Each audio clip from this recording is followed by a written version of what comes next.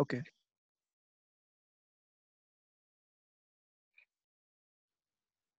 হ্যাঁ হচ্ছে ভাই।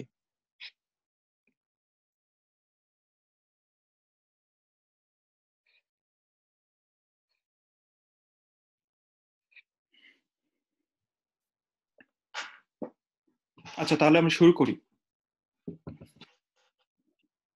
হ্যাঁ ভাই। আচ্ছা আহ, আজকের আলোচনাটা হলো একাডেমিক অ্যাসে নিয়ে, কিন্তু একাডেমিক রাইটিং এর মধ্যেও অনেক প্রকার অনেক ধরন আছে।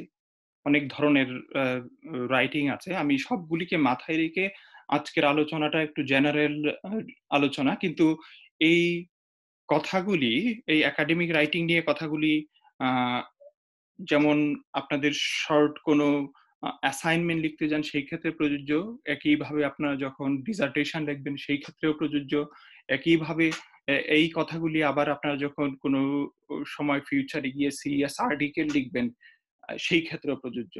আমি এই জন্য কথাগুলিকে এইভাবে বলার চেষ্টা করব। অনেক হয়তো গ্যাপ থাকবে, কিন্তু আপনারা সেই, সেগুলি আমরা পরে প্রশ্ন এবং উত্তরের মাধ্যমে আমরা সেগুলি বুঝার চেষ্টা করব। তাহলে আমরা যদি শুরু করি, তাহলে প্রথমেই আসে যে একাডেমিক রাইটিংটা কি? একাডেমিক রাইটিংটা আমরা, আমাদের কেন প্রয়োজন? বা একাডেমিক রাইটিং এর সাথে অন্য ধরনের রাইটিং আছে? আপনারা পত্রিকা পড়ে থাকেন, আপনারা যদি বাংলাদেশের ইংলিশ ডেইলিগুলি বা বেঙ্গলি ডেইলিগুলি পড়েন, সেখানেও এক ধরনের লেখা আছে, কিন্তু সেটা অনেক ধরনের পপুলারিস্টিক স্টাইলে লেখা। ইনফর্মাল বা সেমি ইনফর্মাল টাইপের লেখা। কিন্তু একাডেমিক লেখাগুলির নির্দিষ্ট নির্দিষ্ট আঙ্গিক আছে, নির্দিষ্ট ধরন আছে, নির্দিষ্ট স্টাইল আছে, নির্দিষ্ট নির্দিষ্ট ওয়ে আছে এগুলি লেখার। তাহলে একাডেমিক রাইটিংটা হলো ফর্মাল প্রথম কথা যদি আমরা বলি আমরা, আমি আমি পরবর্তীতে এক্সাম্পলগুলিতে যাব যে কি ফর্মাল এবং ইনফর্মালের মধ্যে পার্থক্য কি। কিন্তু আমরা যে প্রতিদিনের ভাষায় কথা বলছি সেই ভাষা এবং লেখার ভাষার মধ্যে একটা পার্থক্য আছে, আমরা সবাই জানি। সেই দুইটা ভাষার মধ্যে যে ভাষাটা ফর্মাল যে ভাষাটা দিয়ে লেখা হয় সেই ভাষাটার মধ্যেও আবার অনেক ধরন আছে। একটা হলো পপুলারিস্টিক লেখা পত্রিকায়, আরেকটা হলো একদম একাডেমিক স্টাইলের ফর্মাল ওয়েতে লেখা, যেটা মোর অবজেক্টিভ বলে। যেটা আমার পার্সোনাল অ্যাকাউন্ট না। সেটার চেয়ে হলো আমি থার্ড পার্সন ইউজ করা হয় বেশিরভাগ ফার্স্ট পার্সনও ইউজ করা হয়, কিন্তু সেই লেখাগুলির মধ্যে আমাদেরকে, আমাদের একটা অবজেক্টিভ দৃষ্টিভঙ্গি থাকতে হবে। একইভাবে এই লেখাগুলি টেকনিক্যাল লেখা। যেমন আপনারা ইন্টারন্যাশনাল রিলেশনের স্টুডেন্ট আপনারা ইন্টারন্যাশনাল রিলেশন নিয়ে যখন ইন্টারন্যাশনাল রিলেশন ডিসিপ্লিনের মধ্যে কত নির্দিষ্ট একটা স্টাইল আছে। এবং সেটা যদি অন্য একটা ডিসিপ্লিন হয়। ফর এক্সাম্পল সেটা যদি কোনো একটা বায়োলজিক্যাল সায়েন্স হয়, তাহলে তাদের একটা লেখার, তাদের টার্মিনোলজি আছে। তাহলে আমাদের মাথায় রাখতে হবে যে প্রত্যেকটারই এটা টেকনিক্যাল ইন সেন্স যে প্রত্যেকেরই নিজস্ব ওয়ার্ডিং আছে, প্রত্যেকেরই নিজস্ব ভাষা আছে, প্রত্যেকে প্রকাশ করার জন্য প্রত্যেকের আলাদা আলাদা করে শব্দ চয়ন করতে হয়। এবং এটাকে অনেক সময় জার্গন বলা হয়। ফুল অফ জার্গন অনেক সময় একাডেমিক লেখাগুলি যদি ওই ভাষায় কথা না বলেন, তাহলে অন্যরা অ্যাকসেপ্ট করবে না। তাহলে মনে হবে না এটা একাডেমিক না। তাহলে বলবে যে এটা তো সিম্পল কথা বলতেছে। এবং একইভাবে একাডেমিক লেখা হলো backed up by the evidence এটাও আরেকটা ইম্পর্টেন্ট দিক যে আমরা একাডেমিক লেখা আমি চাইলেই যেমন পত্রিকায় আপনারা যদি ডেলি স্টারের একটা ডেলি স্টারের একটা অপেড পড়েন তো সেই ক্ষেত্রে বেশিরভাগ, আমি দু একজনকে দেখেছি, কেউ কেউ হয়তো একটু সাইটেশন ইউজ করেন, কিন্তু বেশিরভাগ লেখাই হলো একটু পপুলারিস্টিক ওয়েতে লেখা।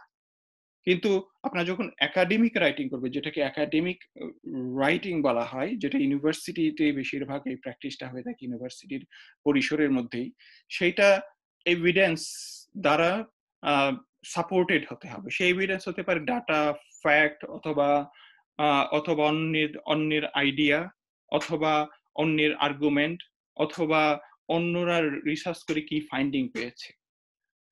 আমরা এটা নিয়ে আরও বিস্তারিত কথা বলব, কিন্তু এটা শুরু করে শুরু করার জন্য, শুরুতেই বোঝার জন্য যে একাডেমিক রাইটিং হলো একটা ফর্মাল রাইটিং এই রাইটিংটা ডিফারেন্ট ডিসিপ্লিনে ডিফারেন্ট হয়।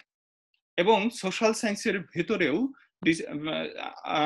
ইন্টারন্যাশনাল রিলেশন অথবা ধরেন পলিটিক্যাল সায়েন্স তারা একটু পলিটিক্যাল সায়েন্সের যারা স্কলার আছেন, তারা একটু ডিফারেন্টলি লিখবেন। যারা পলিটিক্যাল সায়েন্স স্টুডেন্ট আছেন, তারা একটু ডিফারেন্টলি লিখবেন। আপনারা যদি নিচে ওয়ার্ড ক্লাউডটা দেখেন, তাহলে দেখবেন এখানে একাডেমিক রাইটিং কথাটা লিখলে নানান ধরনের শব্দগুলি চলে আসে। এই শব্দগুলি নিয়েই আমরা আমরা নানান, আমরা পরে আলোচনা করব। একটা এক্সাম্পল এখানে। তাহলে এটা আমি নিয়েছি, আমি আমি যেহেতু এডিলেড ইউনিভার্সিটিতে কাজ করি এবং এখানেই আমি লেখাপড়া করেছি, আমি এখানে একটা স্টুডেন্ট ম্যাগাজিন আছে সেই স্টুডেন্ট ম্যাগাজিন থেকে আমি একটা প্যারাগ্রাফ নিয়েছি আপনাদের বোঝার জন্য। এটা একজন স্টুডেন্ট পলিটিশিয়ান কে তার কমেন্টস করার জন্য বলা হয়েছে, সে এই লেখাটা দিয়েছে। সেই লেখাটা আমরা যদি একটু পড়ি, তাহলে সে কি সে কি লিখেছে? American society right now is at crisis point with 7 million COVID-19 cases, countless families unemployed, and record numbers of people taking to the street to support Black, uh, Black Lives Matter and oppose racist cops. More than ever, public needs universal health care, paid sick leave, and uh, and defunding and demilitarization of police. Shamefully, Trump and Biden both offers no serious solution because they are completely on the side of Wall Street and the American empire, not the people. I predict that Biden will win purely because of Trump's total failure to continue uh, to contain the pandemic, but this will be no victory for the 99%. খুবই interesting এবং খুবই strong opinion লেখাটার মধ্যে। কিন্তু আপনারা দেখেন লেখাটার মধ্যে সে শেমফুললি কথাটা use করেছে। সে এখানে ইউজ করছে নাইনটি নাইন পার্সেন্ট সে ইউজ করছে সে ইউজ করছে মোর দেন এভার এগুলি হলো ইনফর্মাল ল্যাঙ্গুয়েজ আমরা সাধারণত কথা বললেই ধরুন ইনফর্মাল ল্যাঙ্গুয়েজটা ব্যবহার করি। কিন্তু সেই ইনফর্মাল ল্যাঙ্গুয়েজটা একাডেমিক রাইটিং আপনারা যখন কোনো একটা অ্যাসাইনমেন্ট লিখবেন, আপনাদেরকে যখন বলা হবে যে আপনারা কোনো একটা অ্যাসে লেখান একাডেমিক এসে তখন এই ধরনের ল্যাঙ্গুয়েজ যদি লেখা হয়, তাহলে সেটা অ্যাকসেপ্টেবল না। তাহলে কোন ধরনের, এখন আসে যে কোন ধরনের লেখা অ্যাকসেপ্টেবল এইটা হলো একটা অ্যাসাইনমেন্ট থেকে নেয়া। এইটা, এটা আপনারা দেখতে পাচ্ছেন পরিষ্কার? এটা হলো একটা অ্যাসাইনমেন্ট থেকে নেয়া। এইটা থার্ড ইয়ারের স্টুডেন্ট এডিলেড ইউনিভার্সিটি থার্ড ইয়ারের স্টুডেন্টদেরকে তার ফাইনাল কোর্স অ্যাসাইনমেন্টে তাকে দুই হাজার পাঁচশো শব্দের মধ্যে একটা অ্যাসাইনমেন্ট লিখতে বলা হয়েছিল। এখানে ফাইনালি এখানে সাধারণত কোনো প্রকার পৃথিবীর অধিকাংশ ইউনিভার্সিটিগুলিতে সাধারণত বাংলাদেশে যেরকম লং চার ঘণ্টার বা তিন ঘণ্টার পরীক্ষা হয়, এটা হয় না রাদার হোম টেকেন এক্সাম বলে হোম টেকেন এক্সামটা হয়। সেটা আমি আমি যখন লুন্ডে পড়েছি, আমি আমি দুই বছরে মাস্টার্স করেছি, কিন্তু আমি একটা পরীক্ষাতেও বসি নাই। আমি, আমার সমস্ত এক্সামগুলি ছিল আইদার প্রেজেন্টেশন গ্রুপ অ্যাসাইনমেন্ট অথবা এই ধরনের ফাইনাল কোর্স পেপার এটা একটা ফাইনাল কোর্স পেপার থেকে নেয়া। দেখেন একাডেমিক সে যখন লিখছে কারণ সে জানে যে একাডেমি সে জানে ভালো করে যে তাকে ফর্মাল ল্যাঙ্গুয়েজে লিখতে হবে। তাহলে সে কি লিখছে দেখেন এখানে। আমরা যদি একটু দেখি যে গ্লোবালাইজেশন নিয়ে সেটা কি নিয়ে লিখছে, এটা একটা কান্ট্রি প্রোফাইল সে তৈরি করছে। তাহলে কি সে কি লিখছে? Globalisation is a concept that as its name suggest affects us all globally formal আমি সবটা পড়ছি না। তাহলে প্রথম প্যারাগ্রাফটাতে সে কি লিখছে? সে একটা ব্যাকগ্রাউন্ড দিচ্ছে। সে ইন্ট্রোডিউস করাচ্ছে তার রিডারকে এটার, এই লেখাটার, সে জানে এই লেখাটার রিডার হলো তার টিউটর তার লেকচারার সে এটাকে পড়বে অ্যাসেস করবে। তার কতগুলি ক্রাইটেরিয়া দেয়া আছে, তাকে পরিষ্কারভাবে বলে দেওয়া হয়েছে কি করবে এবং সেটাকে রিটার্ন ফর্মে কমিউনিকেট করা হয়েছে যে, না, তোমার কাছ থেকে আমরা এই জিনিসগুলি চাই, এই দুই হাজার পাঁচশো শব্দে। সে দেখেন কর্নার একটা ওয়ার্ড কাউন্টও দিয়েছে। যেহেতু এটা ওই শব্দের বেশি হইতে পারবে না, তাহলে সে মার্কস লুজ করবে। এবং এই ব্যাকগ্রাউন্ডটা দেওয়ার পরে সে দেখেন এখানে সে বলছে দিস এসে মানে সে কি এইখানে এইখানে সে কি ফোকাস করছে? সেটা একটা কমন ট্রাডিশন যে কোনো একাডেমিক রাইটিং এর ক্ষেত্রে। আপনি একটা ছোট ব্যাকগ্রাউন্ড দিবেন, সেটা নির্ভর করে আপনি কোন ধরনের লেখা লিখছেন, আপনার ওয়ার্ড লিমিট কত, সেটার উপরে। এবং এটার পরেই আপনি রিডারকে বলবেন আপনি কি করতে চাচ্ছেন এই লেখার মাধ্যমে এই এই এইটাতে আমরা এজ এ রিডার হিসাবে আমি পরে কি পাবো তাহলে সে কি বলছি this essay seeks to examine the impacts of globalisation has had on the nation of Turkey and drivers and drivers that have facilitated that have facilitated its implementation. Specifically, the following essay will analyze how Turkey has been impacted in the predominant four areas of globalization, environment, economy and trade, politics and society, and culture, and how Turkey, in return, has contributed to the process elsewhere. তাহলে সে পরিষ্কারভাবে রিডারকে inform করছে সে এই লেখাটাতে কি focus করবে সে একটা কান্ট্রিকে বলা হয়েছিল, সে একটা কান্ট্রি চুজ করবে, সেই কান্ট্রি নিয়ে লিখবে। তাহলে সে টার্কিকে পছন্দ করছে? এবং সেটার গ্লোবালাইজেশনের ইম্প্যাক্ট নিয়ে সে লিখছে। এই, তাহলে আমরা যদি আগের লেখাটার সাথে কম্পেয়ার করি, দেখেন এই লেখাটা স্পষ্ট ভাবেই ফর্মাল আমরা আরেকটা এক্সাম্পল দেখি। এটা একটা বাংলা রেখা। আপনারা এইটার সাথে প্রতি চিন্তা নামে আমার কাছে মনে হয় যে, বাংলাদেশের যে কয়েকটা যে কয়েকটা জার্নাল আছে, প্রতি চিন্তা খুব ভালো মানের লেখা প্রকাশ করা এবং সেই লেখাগুলি ফর্মাল। সেটা বাংলায় হোক বা ইংরেজিতেই হোক, লেখাটা দেখেন এই বাংলা লেখাও খুবই ফর্মাল। আলী রিয়াজের লেখা এটা দুই হাজার উনিশ রিসেন্ট সংখ্যায় প্রকাশিত। এখানে প্রথমে একটা ব্যাকগ্রাউন্ড দিয়ে নিচ্ছে যে বাংলাদেশের সমাজ রাজনীতিতে গত কয়েক বছরে সংঘটিত ঘটনাবলীর প্রবণতা নিবিড়ভাবে পর্যবেক্ষণ করলে দেখা যায় দুটি বড় ধরনের পরিবর্তন সংঘটিত হয়েছে।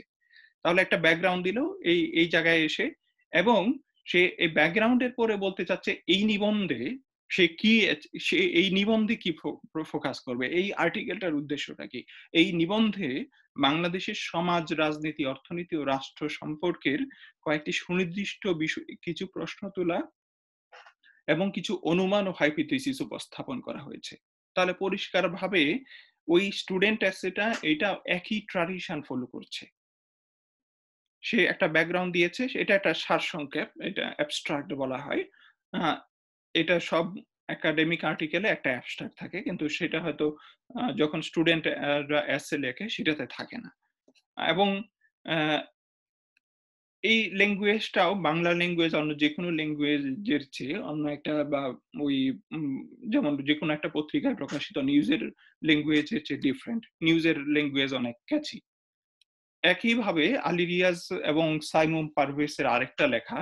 আমি এইগুলি আলী রিয়াজকে নিয়েছি কারণ আপনারা আলী রিয়াজের লেখার সাথে পরিচিত, যেহেতু আপনার ইন্টারন্যাশনাল রিলেশনসে পড়েন এই জন্য। একইভাবে দেখেন আলী রিয়াজের এই লেখাটাও খুবই ফর্মাল ল্যাঙ্গুয়েজে লেখা।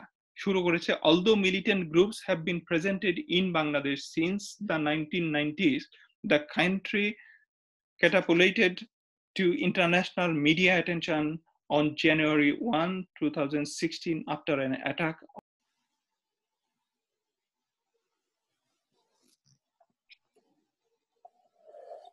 হ্যাঁ ভাই আসছে। আচ্ছা আপনি কি একটু ওই স্ক্রিন শেয়ারিংটা অ্যালাউ করতে হবে আমার মনে হয়। হোস্টের পারমিশন যাচ্ছে। একটু ট্রাই করেন মানে হ্যাঁ, হয়ে গেছে। দিছি তো। হয়ে গেছে জি ভাই। ওকে তাহলে শুরু করা যাক আবার হ্যাঁ? হ্যাঁ ভাই। আমরা যেখানে ছিলাম যে এই লেখাটাতেও একই রকম একই স্ট্রাকচার তাহলে আমরা যদি তিনটা লেখাকে একই বাংলা এবং ওই দুইটা লেখাকে নিই এবং একই সাথে আমরা দেখি তাহলে একাডেমিক লেখা হলো একটা হলো ফর্মাল ল্যাঙ্গুয়েজ একটা হলো নির্দিষ্ট ভোকাবুলারি ইউজ করছে সে তার লেখার জন্য এবং একটা নির্দিষ্ট স্ট্রাকচার আছে। একটা একটা কনভেনশন আছে। এই লেখাটার। এখন কিছুক্ষণ আগে কথা হচ্ছিল যে বাংলাদেশি স্টুডেন্ট বাংলাদেশি ইউনিভার্সিটি যারা লেখাপড়া করছেন আন্ডার গ্রেডে অথবা অথবা মাস্টার্স যারা করছেন, তাদের লেখার স্কোপটা কোথায় একাডেমিক রাইটিং এর? বা মানে আজকের যে কথাগুলি হচ্ছে, এই কথাগুলি আসলে প্রয়োজন কিনা?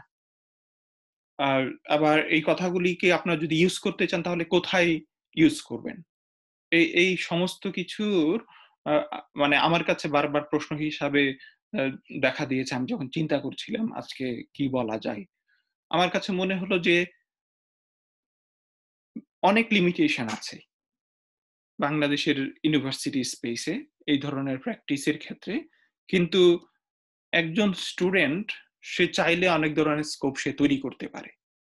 আর বিশেষ করে আমি বিশ্ববিদ্যালয়ে লেখাপড়া করেছি এক দশক আগে। বাংলাদেশে বিশ্ববিদ্যালয়ে আপনারা এক দশক পরে, এক দশকের মধ্যে পৃথিবী অনেক চেঞ্জ হয়ে গেছে। ইন্টারনেট অনেক সহজ এবং আপনারা চাইলেই পৃথিবীর যে কোনো রিসোর্সকে অ্যাক্সেস করতে পারছেন, যে কারোর সাথে কানেক্ট করতে পারছেন। এই জন্য আপনাদের আপনাদের সাথে আপনাদের সাথে সবার একটা কমিউনিকেশনও হয়েছে। হয়েছে বা হচ্ছে। তাহলে বাংলাদেশের স্টুডেন্টদের সুযোগটা হলো সরি এখানে একটা ইয়ে আছে যে কোর্স ওয়ার্ক একটা হলো, এটা কোর্স ওয়ার্ক হবে। কোর্স ওয়ার্ক বা অ্যাসাইনমেন্ট আপনারা হয়তো টিউটোরিয়ালে যে অ্যাসাইনমেন্ট গুলি করেন আপনারা যদি সিরিয়াসলি একটা অ্যাসাইনমেন্টকে অথবা আপনার টিউটরকে আস জিজ্ঞাসা করেন যে আমি অ্যাসাইনমেন্টে এই বিষয়ের উপর করতে চাই, আমি এইরকম লেখা লিখতে চাই। আপনি সেখানে নেগোসিয়েট করতে পারেন কিনা সেই স্কোপ আছে কিনা, সেটা একটা এক্সপ্লোরেশনের জায়গা। যেহেতু অধিকাংশ অ্যাসেসমেন্টই হয় কনভেনশনাল কনভেনশনাল ওয়েতে সেকেন্ড হলো সেকেন্ড হলো মনোগ্রাফ বা ডিজার্টেশন আপনারা যখন লিখবেন, সেটা একটা প্র্যাকটিসের সবচেয়ে বড় জায়গা। আরেকটা হলো বাংলাদেশে হয়তো নাই, কিন্তু পৃথিবীর অনেক দেশেই এখানে দেখবেন ওয়েস্টার্ন ওয়েস্টার্ন ইউনিভার্সিটির ওয়েস্টার্ন অন্টারিও ইউনিভার্সিটির আমি একটা ইয়ে দিয়েছি, স্ক্রিনশট দিয়েছি এখানে। তাদের স্টুডেন্টদের জার্নাল আছে, অ্যান্থ্রোপোলজি, ইকোনমিক্স, হিস্ট্রি, তাদের নিজস্ব জার্নাল। দের দের this journal are very serious journal. কিন্তু পিয়ার রিভিউড না, কিন্তু আপনাকে একাডেমিক স্টাইলেই লিখতে হবে পাবলিশ করতে হলে। কম্পারেটিভলি শর্ট এসে ফুল রেঞ্জ জার্নালের চেয়ে। তাহলে, এবং কিছু জার্নাল আছে ইন্টারন্যাশনাল জার্নাল স্টুডেন্ট জার্নাল। আপনারা গুগল করলেই আপনারা পেয়ে যাবেন। আপনারা যদি মনে করেন যে আপনার কোনো একটা অ্যাসাইনমেন্ট খুব ভালো হয়েছে, আপনারা সেটা ইংলিশে লিখেছেন তাহলে সেটা ইন্টারন্যাশনাল এই ধরনের ইউনিভার্সিটি স্পেসে ইন্টারন্যাশনাল জার্নাল আছে কিনা বা কোথায় আছে, সেই জায়গাগুলি ব্যবহার করতে পারেন। আর আরেকটা জায়গা হলো একাডেমিক ব্লগস ব্লগ এখন খুবই পপুলার ব্লগে অনেক ইনফর্মাল কথাবার্তা হয়, কিন্তু একাডেমিক ব্লগও আছে, খুবই সিরিয়াস কারণ আপনার লেখার মূল উদ্দেশ্য হলো আপনার অডিয়েন্স কে পড়ানো। সুতরাং আপনি এই ব্লগগুলিকেও ইউজ করতে পারেন, আপনি যদি কোনো একটা ভালো লেখা লেখেন। আরেকটা জায়গা হতে পারে যে কিছু কিছু পত্রিকা আছে, আমি বাংলাদেশে কিছু পত্রিকাও দেখছি যে ওরা একাডেমিক লেখাটা খুবই খুবই যদি জেনারেল অডিয়েন্সের কাছে গ্রহণযোগ্য হয়, ওরা মনে করে যে জেনারেল অডিয়েন্স এটাকে পড়বে। আমি ক্লাইমেট চেঞ্জ এনভায়রনমেন্টাল ম্যানেজমেন্ট এই ইস্যুগুলি নিয়ে কাজ করি, এগুলি ফলো করি। আমি দেখি যে ওখানে অনেক একাডেমিক লেখাও হয় লেখাও পাবলিশ হয়। ছোট একটা পেজ ক্লাইমেট চেঞ্জ নিয়ে ক্লাইমেট চেঞ্জ হিউম্যান সিকিউরিটি নিয়ে অথবা হোয়াট এভার দ্য টপিক আপনারা পাঠিয়ে দেখতে পারেন যে আমি বড় করে লেখাটা লিখছিলাম আমার অ্যাসাইনমেন্টের জন্য। আমি এখানে এটাকে কনসাইজ করে ওরা সাতশো শব্দের মধ্যে পাবলিশ করাবো অথবা পাঁচশো শব্দের মধ্যে এটাকে কনসাইজ ফর্মে এনে আমি পাঠিয়ে দেখি ওরা কি বলে অ্যাকসেপ্ট করে কিনা। সেটা একটা স্কোপ হতে পারে। এই জন্য এই এই জায়গাটা আপনাদেরকে তৈরি করতে হবে আসলে। যেহেতু এখানে একটা স্ট্রাকচারাল লিমিটেশন আছে। স্ট্রাকচারাল লিমিটেশন বলতে আমি বুঝাচ্ছি যে ইউনিভার্সিটি জায়গা থেকে একটা লিমিটেশন আছে। ইউনিভার্সিটিতে খুব বেশি স্পেস হয়তো নাই কিন্তু সেই স্পেসটা আপনাদেরকে ক্রিয়েট করে নিতে হবে আপনারা যদি আগ্রহী হন। এখন এখন প্রশ্নটা হলো যে ওয়ার টু স্টার্ট মানে আপনি কোথায় শুরু করবেন? আপনি আপনি কীভাবে শুরু করবেন? এই প্রশ্নগুলি আসে। এখন এইগুলির আসলে কোনো ইয়ে নাই মানে কোনো শর্টকাট ওয়েতে নাই শর্টকাট আনসার নাই কিন্তু এগুলির আহ, এগুলির জন্য যেটা আপনাকে করতে হবে, আপনাকে চিন্তা করতে হবে। আমি যে স্পেসগুলির কথা বললাম, এই স্পেসগুলিকে আপনি কীভাবে শুরু করতে পারেন? অথবা আপনার ক্লাসরুমের ভেতরেই যে অ্যাসাইনমেন্টগুলি হয়, সেই অ্যাসাইনমেন্টগুলিকে আপনি সিরিয়াসলি নিয়েছেন কিনা? এবং সেইগুলির কীভাবে ইন ফিউচারে আর্টিকেল হিসাবে অথবা একটা সিরিয়াস লেখা হিসাবে পাবলিশ করা যায়? আমার মনে আছে, আমি আমি লুন্ডে লুন্ড আমি লুন্ড ইউনিভার্সিটিতে সুইডেনে পড়েছি। আমি আমি একটা কোর্স অ্যাসাইনমেন্ট লিখেছিলাম। আমি খুব ভালো গ্রেড পাইনি। আমার টিউটর কারণ ওখানে সাধারণত একটা অ্যাসাইনমেন্টের উপর রিটেন কমেন্টস দেয়া হয়। এটা নিয়ম উইকনেস স্ট্রেংথ নিয়ে। কিন্তু আমি সেই লেখাটাকে পরবর্তীতে খুব ভালো একটা জার্নালে আমি পাবলিশ করেছি। এবং সেটাকে অনেক ঘষা মাজা করে আবার অনেক অংশ নতুন করে লিখে সামহাও একটা ছোট কাজ অনেক বছর পরে ছিল, প্রায় চার বছর পরে গিয়ে আমি সেটাকে একটা জার্নাল আর্টিকেলে রূপান্তর করেছি। সুতরাং আপনি কিছু একটা যদি লেখেন, সেটা সিরিয়াসলি লেখেন, আপনি জানেন না যে সেটা কোথায় গিয়ে শেষ হবে। তাহলে আমরা আমরা এখন একাডেমিক রাইটিং এর দিকে ফিরে আসি স্কোপের পরে। আমি মূলত আজকের আলোচনায় এই এই পাঁচটা জায়গায় ফোকাস করব। আমি রাইটিং নিয়ে শেষের দিকে কথা বলব। আমি রাইটিং নিয়ে আপনাদের প্রশ্নগুলি আলোকে বেশি কথা বলব। রাদার আমি আমি আপনাদের কথা চিন্তা করে ডাইভার্স অডিয়েন্সের কথা এবং বাংলাদেশের কন্টেক্সট চিন্তা করেই আমার কাছে মনে হয়েছে একাডেমিক রাইটিং শুরু করার আগে এই বিষয়গুলি নিয়ে খুব কথা বলাটা জরুরি। যে আমরা আমরা একাডেমিক রাইটিং আমরা কেন লিখব, কার জন্য লিখব? একাডেমিক রাইটিং এর রিসোর্স কোথায় পাবো? আমাকে কীভাবে পড়তে হবে? আমাকে কি চিন্তা করতে হবে অথবা চিন্তা করলে কীভাবে করতে হবে? চিন্তা কোথা থেকে আসবে? অ্যান্ড ফাইনালি রাইটিং কারণ রিডিং থিঙ্কিং আপনাকে রাইটিং এর জায়গায় নিয়ে যাবে। আমাদের প্রথমেই হলো এই পারপাসে আসি যে পারপাস এবং অডিয়েন্স কারা? এটা নির্ভর করে আপনি কোন ধরনের লেখা লিখছেন। আপনি যদি মনে করেন আপনি একটা অ্যাসাইনমেন্ট লিখছেন, তাহলে সেই ক্ষেত্রে আপনি তার টিউটর বা আপনার টিউটর বা লেকচারারের জন্য লিখছেন, যে আপনার কোর্সটা পড়াচ্ছে তার জন্য লিখছেন।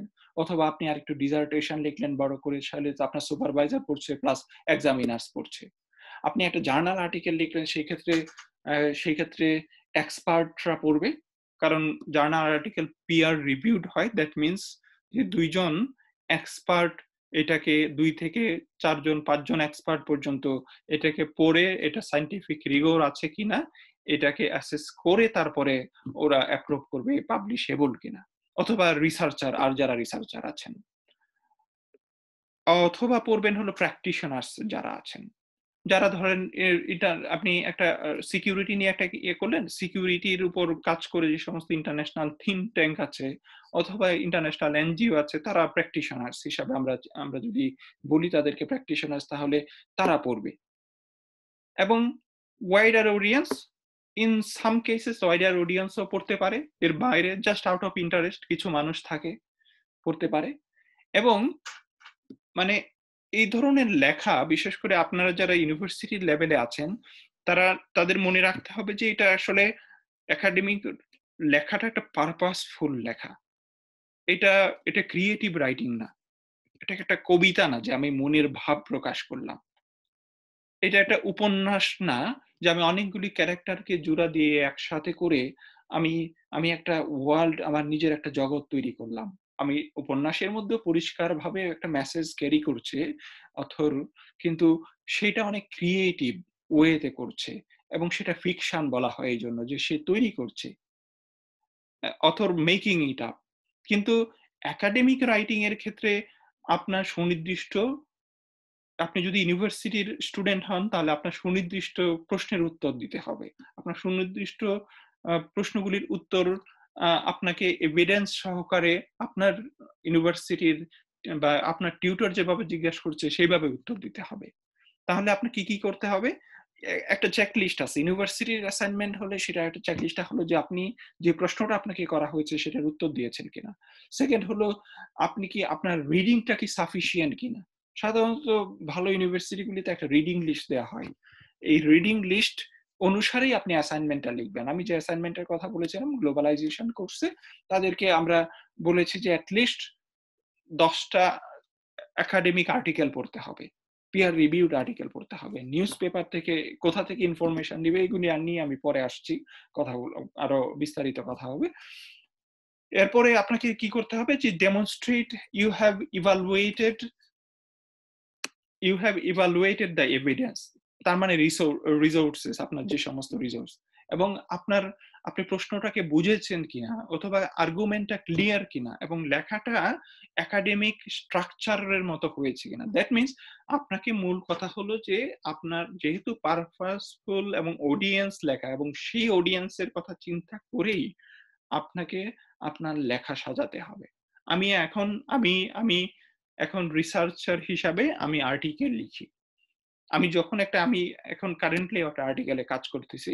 আর্টিকেলটা আমি লিখে গত, আমার নিজের অভিজ্ঞতা বলি। আর্টিকেলটা আমাকে সাত, আমি যে জার্নালটাকে টার্গেট করেছি, সাত হাজার শব্দের মধ্যে লিখতে হবে এবং এটা খুবই হাই র্যাঙ্কিং জার্নাল আমি আমি মেইন অথর আরও দুইজন অথর আছে, কিন্তু আমি যখন ড্রাফটটা লিখেছি ড্রাফটটাকে আবার গত দেড়, দুই মাস ধরে এটাকে ঘষা মাজা করে আরেকটু ডেভেলপ করার চেষ্টা করেছি। এখন গত পনেরো দিন ধরে আমি এটাকে আর দেখছি না, আমি একটা ব্রেক নিচ্ছি, যাতে এই নিজের লেখাটাকে আবার ক্রিটিসাইজ করে আবারও ইমপ্রুভ করতে পারি। তার মানে আমার একটা পারপাস আছে কি, আমি কার জন্য লিখছি? আমি একটা জার্নালের জন্য, আমার আমার এক্সপার্ট অডিয়ে এক্সপার্টের জন্য, যারা রিভিউ করবে, আমি জানি এটা খুব রিগোরাসলি রিভিউ হবে। মানে যদি এটা রিভিউতে যায় তাহলে অ্যাটলিস্ট চারজন রিভিউ করবে। এবং তারা যদি তাদের কাছে যদি তাদেরকে আমি যদি টু সাম এক্সটেন্ট স্যাটিসফাই করতে না পারি, তারা এটাকে ছুঁড়ে ফেলে দিবে সোজা কথা। তাহলে পারপাস মাথায় রেখে অডিয়েন্সকে মাথায় রেখে আমরা একাডেমিক লেখাটা লিখি। আচ্ছা এখানে এই প্রসঙ্গে এটা হলো যে এই ধরনের একাডেমিক লেখার উদ্দেশ্যটা কি? বা এই ধরনের একাডেমিক লেখা আমাদেরকে কি দিবে? যেটা কনভেনশনাল এক্সামের চেয়ে আলাদা।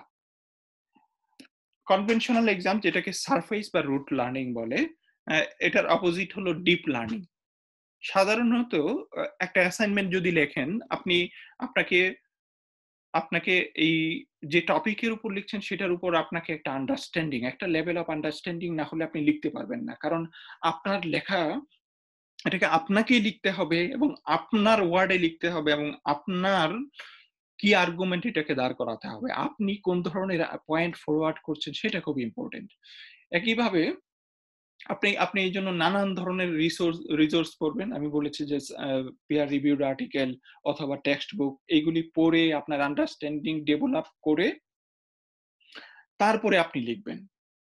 এতে এই ধরনের অ্যাসাইনমেন্টে কি অ্যাসেস করা হয়? অ্যাসেস করা হয় যে আপনার লেভেল অফ আন্ডারস্ট্যান্ডিংটা কীরকম? আপনার অ্যানালিসিস পাওয়ারটা কীরকম? এবং এই জন্য আপনার আপনার সাধারণত আপনার একটা নিজের ইন্টারেস্ট গ্রো করতে হবে। আপনার যদি নিজের ইন্টারেস্টটা গ্রো না করে, আসলে আপনি এটা লিখতে পারবেন না। এবং এইটার সাথে ইনভলভ হলো ক্রিটিক্যাল থিঙ্কিং আপনার নিজের থিঙ্কিংটা লাগবে। এই থিঙ্কিংটা এই ধরনের একাডেমিক রাইটিং অ্যাসাইনমেন্ট বলেন অথবা অথবা আপনি একটা আর্টিকেল লেখেন, সেই ক্ষেত্রে খুবই প্রযোজ্য। কিন্তু কনভেনশনাল এক্সামের ক্ষেত্রে সেটা প্রযোজ্য না। আপনি কনভেনশনাল এক্সামে এখানে কিছুই আছে, যেটাকে রুট লার্নিং বলে। আপনি কি করছেন? মেমোরাইজ করছেন এবং এটাকে রিপ্রোডিউস করছেন। এটা টেস্ট অফ মেমোরি আর কিছু না। মানে কনভেনশনাল এক্সামটা যেটা সারা পৃথিবী জুড়ে ভালো বিশ্ববিদ্যালয়গুলো এই ধরনের চর্চা করে না। কিছু কিছু করে, কিছু কিছু সায়েন্সের ক্ষেত্রে আমার মনে আছে, আমার এক ফ্রেন্ড সায়েন্সে পড়তো নন ইউনিভার্সিটিতে ওর পরীক্ষা হলো ছয় ঘণ্টা ধরে। ছয় ঘণ্টা ধরে, কিন্তু ছয় ঘণ্টার মধ্যে সে চাইলে তার সে যত বই আছে, এটা ওপেন বুক এক্সাম সে বই নিয়ে আসছে, পানি নিয়ে আসছে লাঞ্চ নিয়ে আসছে, সে ছয় ঘণ্টার এক্সাম দিবে। কিন্তু সেই ছয় ঘণ্টা সে পাঁচটা প্রশ্নের উত্তর দিচ্ছে না, সে দুইটা প্রশ্নের উত্তর দিচ্ছে, কিন্তু প্রশ্নগুলি এই ধরনের যে ছয় ঘণ্টার মধ্যে, ছয় ঘণ্টা তার লাগবে, তাকে চিন্তা করতে হবে। সেটা একটা ডিফারেন্ট ফর্ম কিছু কিছু জায়গায় প্র্যাকটিস করা হয়। এবং সেই ক্ষেত্রে অ্যাসেসমেন্টটা ডিফারেন্ট ওই যে টেস্ট অফ মেমোরি বললাম, আর অবজেক্টিভ হলো ভালো গ্রেড পাওয়া। সাধারণত কোনো ইন্টারেস্ট স্টুডেন্টরা পায় না এই ধরনের, যেহেতু এটার সাথে ডিপ লার্নিং ইনভলভ না। তাহলে আমি এখানে মূল পয়েন্টটা আমি যেটা বলতে চাচ্ছি যে, সাধারণত একাডেমিক রাইটিং এর ক্ষেত্রে থিঙ্কিংটা ইম্পর্টেন্ট এবং আমরা আসব থিঙ্কিং নিয়ে আরও কথা বলার। কিন্তু তার আগে প্রথমেই আমি ওখানে বলে নিয়েছিলাম স্ট্রাকচারে যে আমরা কথা বলব হলো, একটা হলো পারপাস আর অডিয়েন্স সেকেন্ড হলো, এখন আপনি পারপাস অডিয়েন্স জানলেন। এখন আপনি আর্টিকেল কোথায় পাবেন? আপনি ভালো বই কোথায় পাবেন? আপনি ভালো আর্টিকেল কোথায় পাবেন? ফর এক্সাম্পল আপনি আপনি ন্যাশনাল সিকিউরিটি নিয়ে আপনি একটা অ্যাসাইনমেন্ট লিখবেন, বাংলাদেশের ন্যাশনাল সিকিউরিটি নিয়ে। তাহলে আপনি কি করবেন? কারণ বাংলাদেশে যে লাইব্রেরি ডাটাবেজ আছে, বাংলাদেশে অনলাইন লাইব্রেরি ডাটাবেজ আমি আমি দেখছি, দেখেছি এটা অ্যাবসেন্ট আমি জাহাঙ্গীরনগরের লাইব্রেরি ডাটাবেজ বোঝার চেষ্টা করছিলাম। লাইব্রেরি ওয়েবসাইটে গিয়ে ইট ডাজেন্ট এক্সিস্ট কিন্তু একইভাবে আপনি পৃথিবীর যে কোনো লাইব্রেরির মানে ভালো একটা ইউনিভার্সিটির লাইব্রেরিতে যান, এখানে পরিষ্কারভাবে গাইড করে এবং একটা হিউজ অনলাইন ডাটাবেস ওখানে আছে। যেখানে আপনি পৃথিবীর তাবৎ বই আর্টিকেল নিউজ পেপার সমস্ত কিছু অ্যাক্সেস করতে পারবেন। এবং প্রতিনিয়ত মানে যেহেতু এগুলি প্রতিনিয়ত চেঞ্জ হচ্ছে, নতুন এডিশনের বই বের হচ্ছে, এগুলি তারা অ্যাভেলেবল করে রাখে। কিন্তু বাংলাদেশে সম্ভব না। কিন্তু তারপরেও তো আপনাদেরকে লিখতে হবে। আপনারা কীভাবে লিখবেন? কোথা থেকে আসবে? আমি হাইপোথেটিক্যালি আমি ধরে নিচ্ছি যে আপনি একটা অ্যাসাইনমেন্ট আপনি নিলেন। আমি ধরে নিচ্ছি হাইপোথেটিক্যালি অনেক সময় টিচাররা হেল্প করেন। টিচারদের নানান সময় নানান কিছু অ্যাক্সেস থাকেন। তারা বিদেশি নানান ইউনিভার্সিটির সাথে ভালো ইউনিভার্সিটির সাথে ইনভলভ সেই ক্ষেত্রে তারা অনলাইন অ্যাক্সেসগুলি থাকে। তারা হয়তো একটা লিস্ট বা একটা রিডিং লিস্ট দিয়ে দেয়। সেটা ফার্স্ট ইয়ারের স্টুডেন্ট হলে সেটা দিয়ে দেয়। কিন্তু আপনি যখন ফাইনালি লিয়ারে গিয়ে একটা ডিজার্টেশন লিখবেন, একটা থিসিস লিখবেন, তখন আপনি কোথায় পাবেন? গুগল একটা সোর্স কিন্তু গুগল সোর্সে আপনাকে পৃথিবীর তাবর ডকুমেন্টস আপনি যে কোনো একটা টপিক নিয়ে গেলে সেটা কয়েক মিলিয়ন হিট আপনাকে মানে কয়েক মিলিয়ন ডকুমেন্টস এসে হাজির করবে। তাহলে ওটা কোথায় আপনি পাবেন? বেটার হলো গুগল স্কলার যেখানে সাইন্টিফিক পিয়ার রিভিউড অথবা অথবা পিয়ার রিভিউড বুক অথবা চ্যাপ্টার গুলি ওখানে থাকে। তাহলে গুগল স্কলার একটা ভালো জায়গা। আমার মনে হয় সব রিসার্চের মূল জায়গাটা হলো গুগল স্কলার ওই সাইটে গেলেই আপনি পাবেন। এখন বেশিরভাগ আর্টিকেল আপনি যে টপিকসটার উপর লিখছেন, সেগুলি অ্যাক্সেস থাকবে না। কিন্তু কিছু কিছুর অ্যাক্সেস হয়তো থাকবে। আরেকটা জায়গা হতে পারে রিসার্চ গেট এটা একটা এটা একটা ওয়েবসাইট যেখানে রিসার্চাররা যারা রিসার্চার স্টুডেন্টরা সাধারণত আমি জানি না স্টুডেন্টরা হয়তো লিমিটেড অ্যাক্সেস আছে। কিন্তু স্টুডেন্টরাও যদি তার ইনস্টিটিউশনাল ইমেল থাকে সে লগ ইন করতে পারে। তো রিসার্চ গেট আরেকটা ভালো জায়গা। রিসার্চ গেটে সাধারণত যেটা হয় রিসার্চ গেটে সমস্ত রিসার্চাররা তার আর্টিকেলগুলিকে পি প্রিন্ট বা ফাইনাল প্রিন্টের আগে অথবা ফাইনাল ড্রাফটটা শেয়ার করে। ওইটা থেকেও আপনি আপনি ইনফরমেশন কালেক্ট করতে পারবেন বা আপনি একটা আপনি একটা আর্টিকেল অ্যাক্সেস করতে পারবেন। আরেকটা হতে পারে জার্নাল পাবলিশার সাইটগুলি আছে। স্প্রিঙ্গার এলসিভার অথবা অন্য যেগুলি যে পাবলিশারগুলি আছে, এগুলি বিগ কর্পোরেশন এখন। তাদের স্প্রিঞ্জারের কয়েক হাজার জার্নাল আছে, কয়েক হাজার, কয়েক মিলিয়ন বুক আছে। এলসিভার এলসিভারেরও তাই। এইটা একটা আর আরেকটা ইয়ে শুরু হয়েছে যে আপনি ওখানে বেশিরভাগই টাকা চাইবে আপনার কাছ থেকে বাংলাদেশে অ্যাক্সেস করতে চাইলে। কিন্তু ওপেন অ্যাক্সেস অনেকগুলি আছে। আপনি আপনি হয়তো পেয়ে যাবেন ওপেন অ্যাক্সেস ডোমেইনটা ডোমেইনটা যদি যান, আপনি স্প্রিঞ্জার ওপেন অ্যাক্সেস লেখেন, তাহলে আপনি পেয়ে যাবেন যে যেক্ষেত্রে আপনি বাংলাদেশ থেকে অ্যাক্সেস করতে পারবেন। অল্টারনেটিভ হলো আমি এখানে পাইরেটের কথা বলেছি। খুবই ডিসকারেজ করার মতো ব্যাপার। কিন্তু নলেজের জন্য কোথায় না আমরা যেতে পারি। বাংলাদেশে তো সবকিছুই হচ্ছে, সবকিছুই পাইরেসির ইয়ে। খুব মজার ঘটনা, আপনারা এই যে, এখানে যে একটা কাকের ছবি দেখতে পাচ্ছেন, চাবি, এটা একজন পিএইচডি স্টুডেন্ট একটা খুবই বিরক্ত হয়ে, এই জার্নাল আর্টিকেলে সে প্রবেশ ইয়ে করতে পারে না, তার অ্যাক্সেস নাই এবং অনেক স্টুডেন্ট বিশেষ করে আমাদের মতো ডেভেলপিং কান্ট্রি স্টুডেন্টরা তারা অ্যাক্সেসই করতে পারে না। কারণ এগুলি অনেক অনেক টাকাও দিতে হয় ওই পাবলিশার গুলিকে। এবং সাইফাই বলে একটা ইয়ে আছে, এটা হলো সাই হাব এটা সাই হাবের লোগো আপনারা ওখানে যে কোনো আর্টিকেলের নাম অথবা ডিওআই দিলে সাধারণত ও ওপেন করে দেয়। এটা একটা পাইরেসির মানে একটা জায়গা যেখানে আপনি অ্যাক্সেস করতে পারবেন, আপনি যদি ভালো পাইরেট হন। তাহলে আমরা আমরা এই এই হলো আমাদের ল্যান্ডস্কেপ যে আপনি রিসোর্সটা কোথায় পাবেন। অ্যান্ড ডেফিনেটলি ইউনিভার্সিটি কনটেক্সটে আপনার আপনার টিচার আপনার আপনার টিউটর অথবা আপনার যে কোর্স পড়ছেন কোর্স ইনস্ট্রাক্টর আপনাকে হেল্প করতে পারে। এখন আসি আমরা রিসোর্স পেলাম একাডেমিক রাইটিং এর জন্য। আমরা জানলাম পারপাসও আছে, আমি কি জন্য লিখব। এখন রিডিং আমরা কীভাবে পড়ব? সেটা খুবই ইম্পর্টেন্ট একাডেমিক রাইটিং এর ক্ষেত্রে।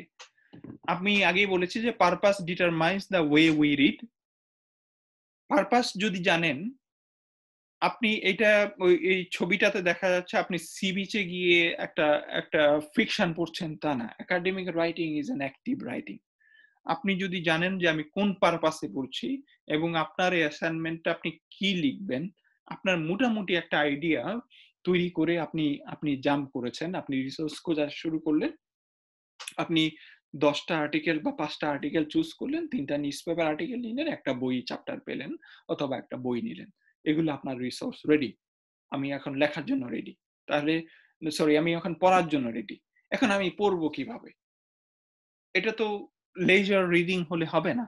রিডিং এর ডিফারেন্ট পারপাস আছে। মানুষ প্লেজারের জন্য পড়ছে কুইক রেফারেন্সের জন্য পড়ছে।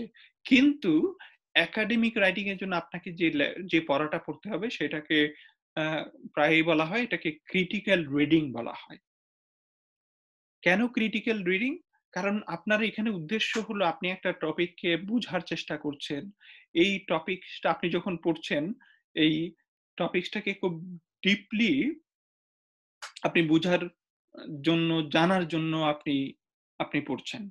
এবং আপনি কতগুলি টেক্সট সিলেক্ট করলেন, দশটা আর্টিকেল সিলেক্ট করলেন। এটাকে এটাকে পড়ার জন্য, এটাকে বুঝার জন্য। কারণ আপনি ক্রিটিক্যালি পড়বেন।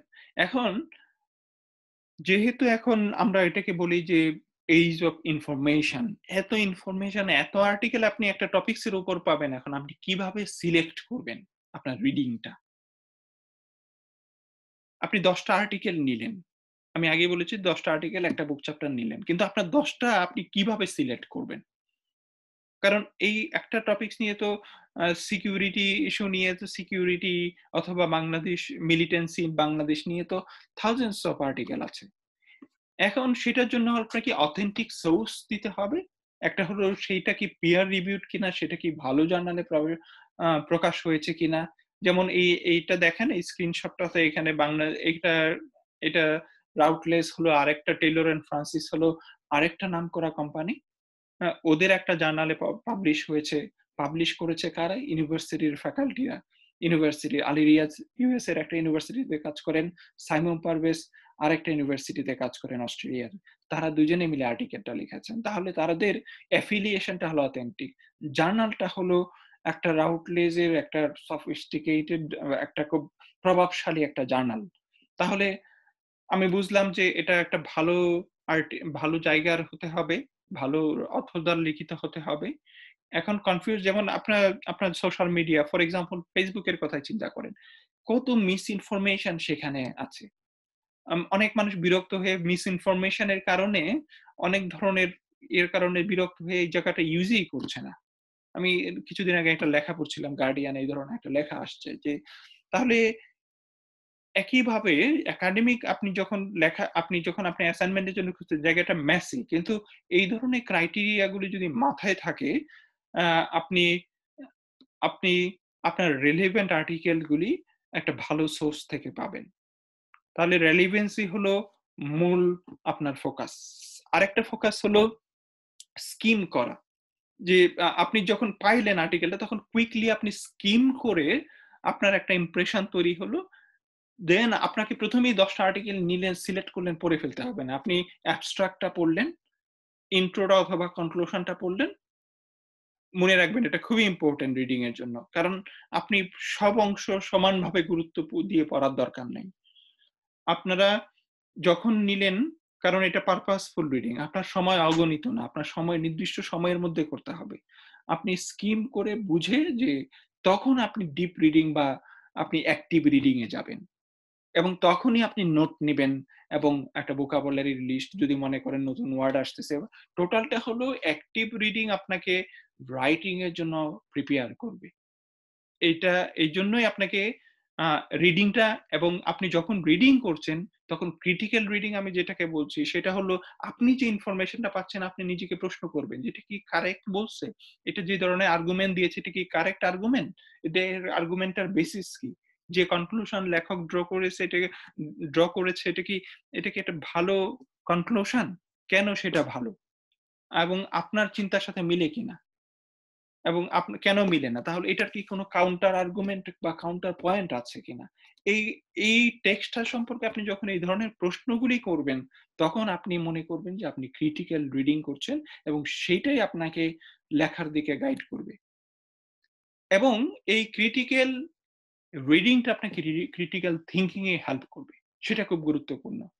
কারণ রাইটিং হলো এক প্রকার থিঙ্কিং এবং আপনি যখনই ক্রিটিক্যাল থিঙ্ক করছেন, তখন আপনি শুধু ইনফরমেশনকে নিচ্ছেন না।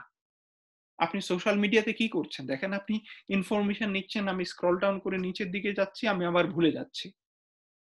শেষ।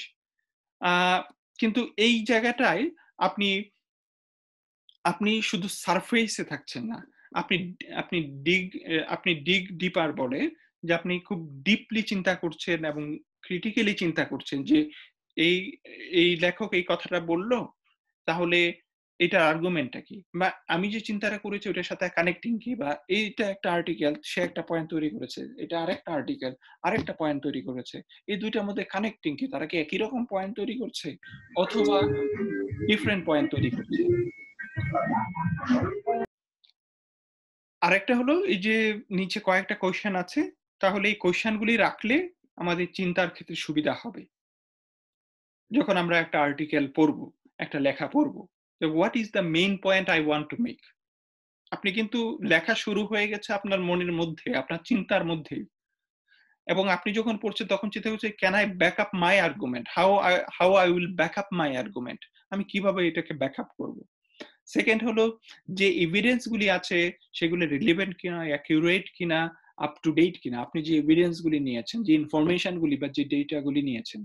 তাহলে এই আরেকটা কোয়েশ্চেন হলো is my view based on false promise আপনি নিজের চিন্তাকেও চিন্তা করতে হবে যে, আমি যে চিন্তাটা করছি, সেটা কি কারেক্ট চিন্তা কিনা? যদি না থাকি, তাহলে সেটা কারেক্ট তাহলে সেটার জন্য আরও পড়তে হবে আরও ডিপলি চিন্তা করতে হবে। আমি, আমার যে লেখাটা এখন লিখছি, আমি আমি নিজে, এখন একটা জায়গায় থেমে আছি কেন? আমি চিন্তা করতেছি যে আমি যে কথাটা বলছি, সেটিকে আসলে বলা ঠিক হচ্ছে কিনা? তাহলে আমি যদি যদি এটা ঠিক না হয়, তাহলে এই লেখাটা যারা পড়বে, তারা এটাকে ফেলে দিবে। সুতরাং আমাকে, আমি আমারও ক্রিটিক্যালি চিন্তা করছি। তাহলে আমি যে চিন্তাটা করছি, সেটা নিয়েও আমি চিন্তা করছি যে এই চিন্তাটাও ঠিক আছে কিনা।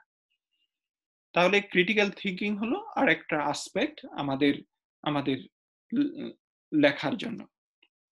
এখন আসি মূল পয়েন্টে আজকের কথা বলার কথা হলো রাইটিং নিয়ে। কিন্তু আমি কথা বলছি রিসোর্স নিয়ে, আমি কথা বলেছি রিডিং নিয়ে, আমি কথা বলেছি থিঙ্কিং নিয়ে।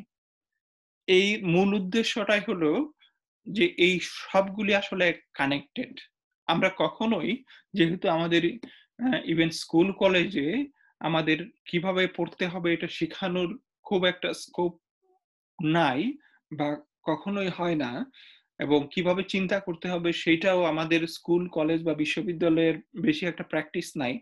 সেই জন্য এই কথাগুলি আমি আপনাদেরকে বলার চেষ্টা করছি যে স্কোপ নাই but still you can you can practice এখন এখন আসি একাডেমিক রাইটিং তাহলে একাডেমিক রাইটিং কি?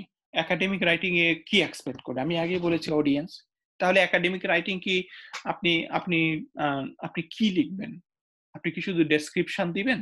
যে এই একটা ইস্যু নিয়ে আপনি লিখছেন, আপনি হিউম্যান সিকিউরিটি নিয়ে লিখছেন, অথবা ন্যাশনাল সিকিউরিটি নিয়ে লিখছেন। তাহলে কি আপনি শুধু বাংলাদেশের সিকিউরিটি থ্রেট এই কারণে বাংলাদেশের সিকিউরিটি থ্রেটের মুখে আপনি যদি থ্রেট নিয়ে লেখেন, অথবা আপনি অ্যানালিসিস করবেন।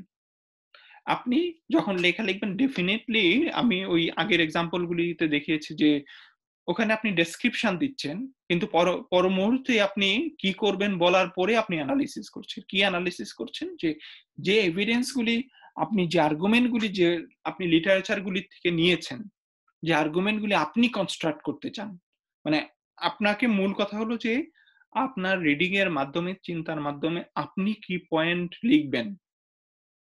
সেটা ক্লিয়ার কিনা? আপনার স্ট্যান্ড পয়েন্টটা কোথায়? আপনার আর্গুমেন্টটা কোথায়? আপনি অন্যের লেখাকে রিপোর্ট করছেন না। আপনি অন্যের লেখার উপর ভিত্তি করে, আপনি সিনথেসাইজ করে, আপনি নিজের লেখাটাকে, নিজের আইডিয়াটাকে আপনি লিখবেন। সেইটাই একাডেমিক রাইটিং এর মূল কথা। এই, এগুলি বেশিরভাগই আমরা আলোচনা করেছি যে should be backed up by others work অন্যদের আইডিয়া অন্যদের আর্গুমেন্ট আপনাকে সব সময় যে অন্যের আর্গুমেন্টে এগ্রি হতে হবে তা না, আপনার এগ্রি হওয়ার দরকার নাই। কিন্তু আপনাকে যেটা করতে হবে যে, আপনি যে আর্গুমেন্টটা ফলো ফরওয়ার্ড করছেন, যে আর্গুমেন্টটা নিয়ে আপনি ডেভেলপ করছেন, সেই আর্গুমেন্টটা একটা সলিড লজিক্যাল আর্গুমেন্ট কিনা এবং কোনো ডেটা বা অন্যের অন্যের লেখার উপর ভিত্তি করে তৈরি কিনা। আপনি হোমজিক্যালি বা হঠাৎ করে কোনো আর্গুমেন্ট আপনি একাডেমিক রাইটিং অ্যাকসেপ্টেবল না। আপনি কোনো একটা বলে ফেললেন যে যে বাংলাদেশের ন্যাশনাল সিকিউরিটি থ্রেট হলো ফর এক্সাম্পল ইসলামিক মিলিটেন্সি আপনি কোন আর্গুমেন্ট ছাড়া আলী রিয়াজের লেখাটা নিয়ে আমরা আসব পরে এক্সাম্পলে যে কারণে আমি এই এক্সাম্পলটা দিচ্ছি। এবং প্রথম থেকে শেষ পর্যন্ত যে কোনো একাডেমিক পিসে একই রকম আইডিয়া একই কথাকে আপনি এটাকে বলে থ্রেড থ্রেড অফ আইডিয়াস আপনি ডেফিনেটলি আপনি যখন লিখছেন তখন চাঙ্ক প্যারাগ্রাফ চাঙ্ক করছেন, কিন্তু কথা একটাই, মূল আর্গুমেন্টটা ঠিক থাকবে, কিন্তু আপনি এটাকে ভেঙে ভেঙে লিখছেন। এবং ক্লিয়ার প্রেজেন্টেশন থাকবে এভিডেন্সের আর এভিডেন্স এবং আর্গুমেন্টের যেটা আপনাকে একটা কনক্লুশনে পৌঁছতে সাহায্য করবে। আমরা পরের স্লাইডে যাই। এখন এখন স্ট্রাকচার নিয়ে আসি। আমরা শেষ করব তিন মিনিটের মধ্যে। আর পরের সেশনটাতে আমরা যাতে কোয়েশ্চেন আনসার সময় পাই। থ্রি পার্টস আমি একটু কুইকলি যাব। পরে কোয়েশ্চেন আনসারে হয়তো অনেকগুলি পয়েন্ট আমি আবার ইলাবোরেট করার সুযোগ পাবো আপনাদের প্রশ্নের উপর ভিত্তি করে। তাহলে, সাধারণত থ্রি পার্ট স্ট্রাকচার যে কোনো একাডেমিক আছে যারা যারা ফার্স্ট ইয়ার সেকেন্ড ইয়ার বা থার্ড ইয়ারে আছেন, তাদের জন্য এটা খুব সিম্পল স্ট্রাকচার বা ফোর্থ ইয়ারের যে কোনো অ্যাসাইনমেন্টের জন্য আপনি বিট অফ ব্যাকগ্রাউন্ড ব্যাকগ্রাউন্ডের মাধ্যমে আপনি একটা রোড ম্যাপ দিচ্ছেন। আপনি কি করবেন? এবং মেইন বডি যেখানে মাল্টিপল প্যারাগ্রাফ থাকবে এবং আপনি যেখানে আপনার আর্গুমেন্টস এর এভিডেন্স গুলি দিচ্ছেন এবং ফাইনালি আপনি কনক্লুশন দিচ্ছেন। এবং রিডার হিসাবে আপনার tutor okay what is the take home message কি আইডিয়াটা কি? সেটা আপনি ডেভেলপ করছেন। এবং এসে আমি এটাকে ডিটেলস যাচ্ছি না। এটা একটা এটা হলো ইউকের একটা ইউনিভার্সিটিতে একটা স্টুডেন্ট অ্যাসাইনমেন্ট এখানেও রাইটিং স্টাইলটা হলো, দেখেন স্টুডেন্ট যে রাইটিং স্টাইলটা নিয়েছে সেটা ভেরি ক্লিয়ার কনক্রিট এবং ল্যাঙ্গুয়েজ যেহেতু ওয়ার্ড লিমিট আছে, আপনি জার্গন ইউজ করতে পারবেন। কিন্তু সেই ল্যাঙ্গুয়েজটা খুব ফর্মাল হতে হবে। এবং আপনি বডিতে আমি আগে বলেছি যে সেইটা প্যারাগ্রাফে একটা বেসিক প্যারাগ্রাফ হলো আপনার বেসিক ইউনিট যেখানে আপনি চাঙ্কের, চাঙ্ক করে দিচ্ছেন। ইনফরমেশন গুলিকে আপনি থাকে থাকে সাজিয়ে একটা অ্যাসে তৈরি করছেন। এবং সেই অ্যাসে রাইটিং এর মধ্যে আপনি অন্যের আইডিয়াগুলিকে প্যারাফ্রেজিং করছেন সামারাইজ করছেন এবং কোট আকারে নিচ্ছেন। আমার মনে হয় যে এটা শেষ হয়ে যাবে লেস দেন ওয়ান মিনিট দেখাচ্ছে। সাডেনলি থ্রি মিনিটস থেকে ওয়ান মিনিটে চলে গেছে। আমরা আবার শুরু করব। I need like five minutes ভাই তাহলে আমরা এখানে ইন করে দিয়ে আমরা তাহলে আবার জয়েন করি। তাহলে হ্যাঁ। সুযোগটা পাবে না। ওকে সবাইকে আবার একটু জয়েন করতে অনুরোধ জানাচ্ছি। আমরা এখানে কেটে দিচ্ছি।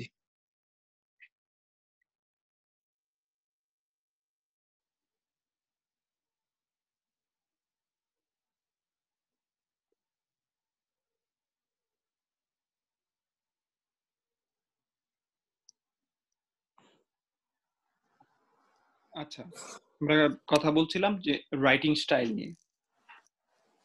আগে আর স্লাইডটাতে আমরা ফোকাস করেছি হলো একাডেমিক অ্যাসেস অ্যান্ড পরেরটা হলো যে ডিজার্টেশন কম্পারেটিভলি লং এবং ডিজার্টেশনের লেখা স্টাইলটা আরেকটু ডিফারেন্ট এখানে অনেকগুলি স্টেপ আছে। সেখানে ইন্ট্রোডাকশন লিখতে হবে। লিটারেচার রিভিউ মেথড রেজাল্টস আপনারা দেখতেই পাচ্ছেন যেটা একটা full blown research full blown research piece এখানে আপনাকে কীভাবে বিবলিওগ্রাফি এবং অ্যাপেন্ডিক্স লিখতে হবে। এই স্টেপগুলি নিয়ে আমরা আরও আরও ডিটেলসে কথা বলব আমি আগাই। এবং আরেকটা হলো যে রাইটিং স্টাইল যেটা আপনার প্রথমেই বলেছিলেন যে আপনাদের ইন্টারেস্টের জায়গা। পিয়ার রিভিউড আর্টিকেল আমি অলরেডি বলেছি যে অডিয়েন্স হলো ডিফারেন্ট ল্যাঙ্গুয়েজ তাও ল্যাঙ্গুয়েজ হলো সার্টেন জার্গন আছে। আপনি একাডেমিক ওই পার্টিকুলার ফিল্ডে যে ভাষায় কথা বলে, ওই ভাষায় কথা বলতে হবে, ওই ভাষা আপনাকে জানতে হবে এবং সেটা রিডিং এর মাধ্যমেই আসবে। এবং আর্টিকেল হলো পিয়ার রিভিউড হয় এক্সপার্টরা রিড করবেন এবং কমেন্টস দিবেন, তারপরে আপনি এটাকে অ্যাড্রেস করবেন তারপরে সেটা একটা আর্টিকেল হিসাবে পাবলিশ হয় এবং এটার একটা অ্যাভারেজ একটা স্ট্রাকচার হলো যে ইন্ট্রোডাকশন থাকবে মেথড থাকবে রেজাল্টস থাকবে ডিসকাশন থাকবে এবং কনক্লুশন থাকবে এবং মোস্ট ইম্পর্টেন্ট অফ অল এটা ইন্টেলেকচুয়াল এবং সাইন্টিফিক রিগোর থাকতে হবে। সেটার ভিত্তিতেই একটা পেয়ার রিভিউড আর্টিকেল পাবলিশ হয়। আমার মনে হয় এটা নিয়ে আরও বিস্তারিত যখন কোয়েশ্চেন আনসার পড়বে আমরা আরও কথা বলতে পারি।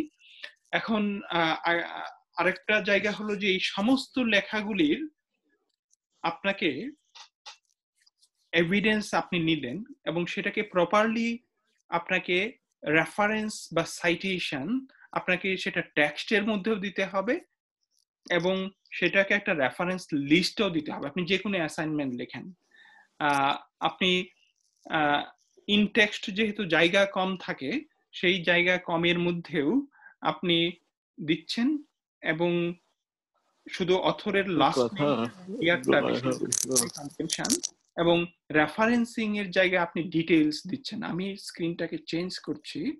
আমি দেখানোর জন্য একটা আর্টিকেল নিচ্ছি। তাহলে সহজ হবে।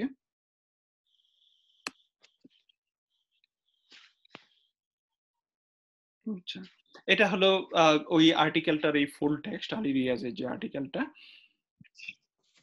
আপনি দেখেন এখানে একটু ডিফারেন্ট স্টাইল ইউজ করেছে। এটা হলো এক এক এক এক একটা স্টাইল আছে কত একটা হলো হার্বার স্টাইল অ্যাপিএস স্টাইল তারাই এখানে নাম্বার ইউজ করেছে। আমি যদি টেনে ক্লিক করি টেনে ক্লিক করলে সে সরাসরি নিয়ে যাচ্ছে। তার মানে হলো সে ওই জায়গার ওই জায়গাটাকে সে নিয়েছে হলো এই লেখার থেকে, এই এই রেফারেন্স থেকে। তার মানে সে ওটাকে সাইট করেছে ওখানে।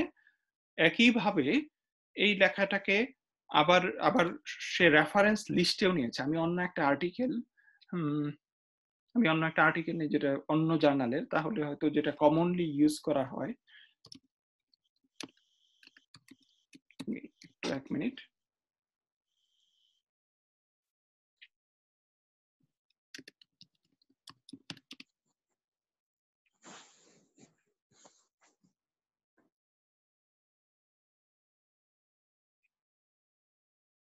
জাস্ট আমাদের রেফারেন্সিং এর জায়গাটা, সেটা কেন আমি রেফারেন্সিং করব সেটাকে বোঝানোর জন্য।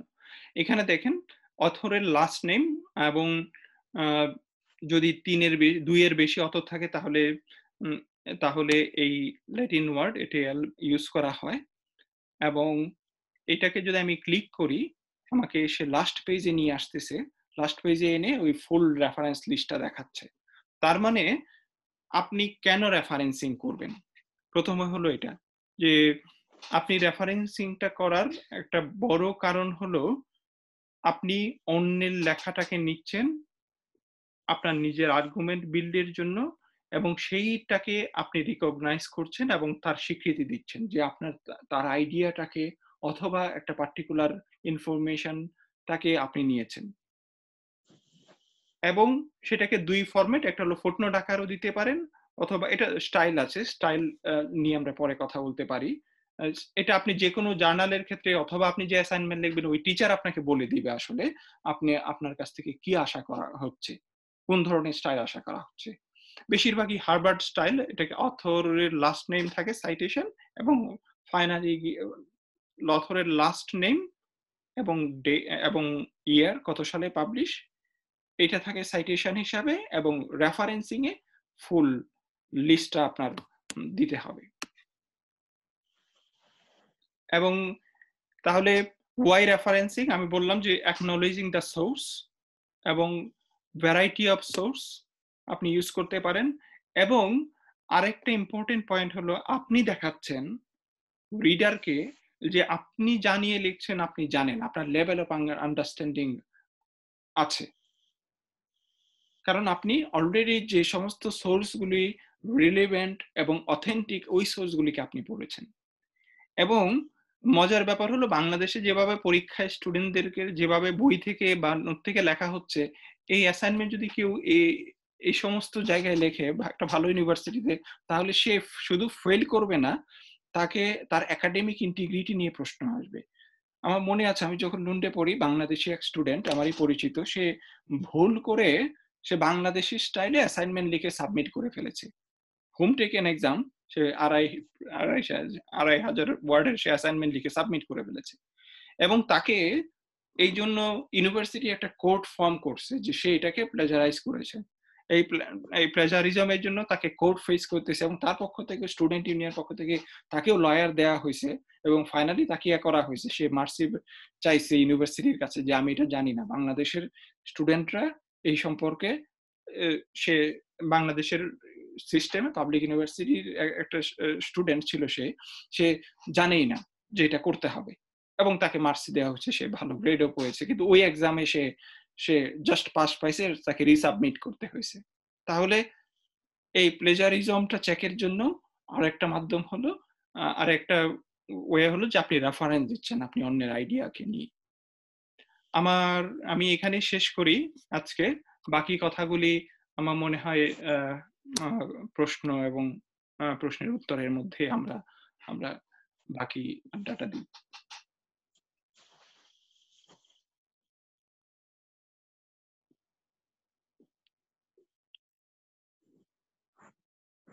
আমি কি স্ক্রিন শেয়ারিং স্টপ করে দিব? হ্যাঁ ভাই সমস্যা আচ্ছা ওকে।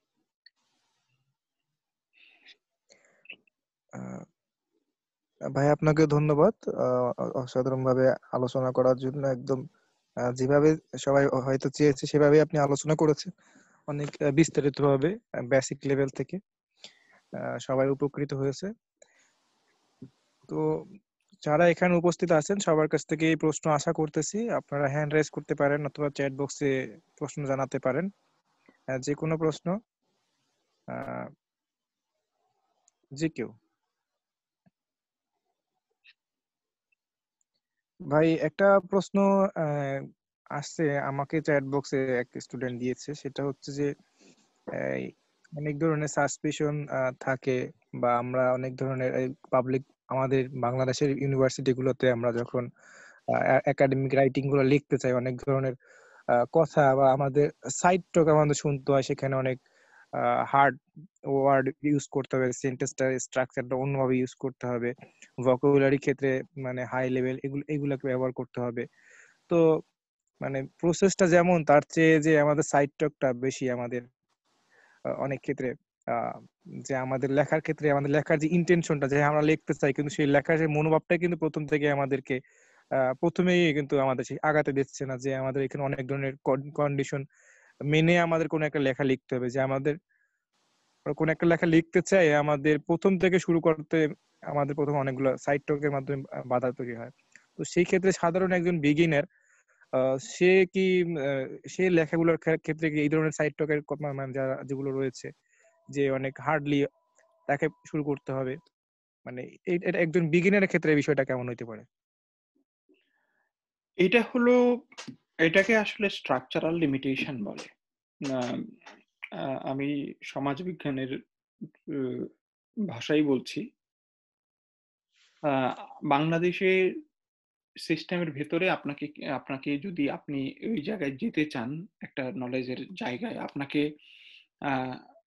আপনার নিজের মধ্যে প্রচণ্ড শক্তি লাগবে। আপনি আপনি ইউনিভার্সিটির ভেতর থেকে প্রচুর এনকারেজমেন্ট পাবেন না। একইভাবে আপনার আপনার হয়তো পিয়ার্স যারা আছে তাদের কাছ থেকে প্রচুর এনকারেজমেন্ট পাওয়ার সুযোগ নাই। কিন্তু একজন স্টুডেন্ট আপনারা দেখবেন, আপনারা যারাই নিজের মতো করে নিজের মতো করে বলা পড়ার চেষ্টা করেছে, নিজের মতো করে বুঝার চেষ্টা করেছে, তারা কোথাও না কোথাও গিয়ে তার যে পছন্দের জায়গায় সে জায়গা করে নিয়েছে। সুতরাং মূল কথাটা হলো যে আপনার, আপনি যখন শুরু করতে চান ফার্স্ট ইয়ার থেকেই অথবা সেকেন্ড ইয়ার অথবা ওয়ার্ড লেভেল আপনি আপনি কনভিন্সড কিনা? আপনি একদিনে লেখক হয়ে উঠবেন না। আমি আট বছর ধরে আমি নিজের অভিজ্ঞতায় আগে প্রথম দিকে একটু বলেছি যে আমি আমি প্রায় আট বছর ধরে আমি চেষ্টা করছি আমি একাডেমিক রাইটার হওয়ার জন্য। এবং আমি খুব বেশি যে, আমি বলব খুব বেশি যে সাকসেসফুল রাইটার তাও না, খুব বেশি যে প্রলিফিক রাইটার তাও না। কিন্তু আমি এখন চেষ্টা করছি, আমার আমার নিজের লেখাপড়ার মানে ডিগ্রিগত ভাবে লেখাপড়াটা যেহেতু শেষ হয়েছে, এখন আমি চেষ্টা করছি কীভাবে নিজের লেখাটাকে ডেভেলপ করা যায়। এবং প্রত্যেকটা লেভেলে আপনি যে লেভেলেই থাকেন না কেন, এটা অনেক প্র্যাকটিসের ব্যাপার, সময় দেওয়ার ব্যাপার। আপনি ছোট্ট একটা লেখা লেখেন আপনি তিন হাজার শব্দে, দুই হাজার শব্দের লেখা লেখেন। আপনার, আপনি আপনার পিয়ার্স কে দেখান, আপনার বড় যে আছে, যে বুঝে, অথবা অন্য সাবজেক্টে তাকে দেন যে, আমি লেখাটা লিখছি, আমি আপনি একটু পড়ে দেখেন তো। মানে শুরু করাটার নিজের মধ্যে ফোর্সটা থাকতে হবে বাংলাদেশের কন্টেক্সটে আসলে। আমি আমি নিজের অভিজ্ঞতা বলি যে, কেন দরকার? আমি যখন ইউনিভার্সিটি পাশ করে গেছি কি আমাকে বলে নাই কোনোদিন চিন্তা করতে হবে। সবাই আমাকে বলেছে যে মেমোরি মেমোরি থেকে লিখতে হবে এবং আমি খুব ভালো করতে পারতাম না এক্সামে আমার মেমোরি খুব শর্ট এবং আমার আমার কাছে সবসময় খুব খটোমটো লাগতো। কিন্তু আমার, আমি প্রচুর পড়তে ভালোবাসতাম, প্রচুর প্রচুর চিন্তা করতে ভালোবাসতাম। পরে এটা আমাকে হেল্প করেছে, যেহেতু আমার পড়ার একটা অভ্যাস আছে। কিন্তু প্রথমেই যখন আমি চাকরি শুরু করেছি তখনই আমাকে প্রথমেই একটা ল্যাপটপ দিয়ে বলা হলো যে, আজকে থেকে তোমার চাকরি হলো লেখা। যেহেতু বুঝেনি বাংলাদেশের কন্টেক্সট এনজিও গুলি আপনাকে যখন নিবে, তখন হায়ার করবে, তখন আপনাকে টু সাম এক্সটেন্ড আপনাকে রাইটার হতে হবে। তাহলে দেখেন এখানে এখানে প্রচণ্ড একটা বিরোধ আছে কর্মের সাথে আপনার লেখাপড়া। সেই বিরোধটা বাংলাদেশে আছে, সেই বিরোধটা এই অস্ট্রেলিয়াতে আছে, সেই বিরোধটা নানান ফরমেটে নানান জায়গাতেই আছে। আমি এখানে একটা সিটি কাউন্সিল ইন্টার্ন করেছি। এখানে যখন যারা ওখানে চাকরি করছে, তারা বলছে যে এখানে ইউনিভার্সিটি যে গ্রাজুয়েট প্রডিউস করে they are not ready for for the task what we have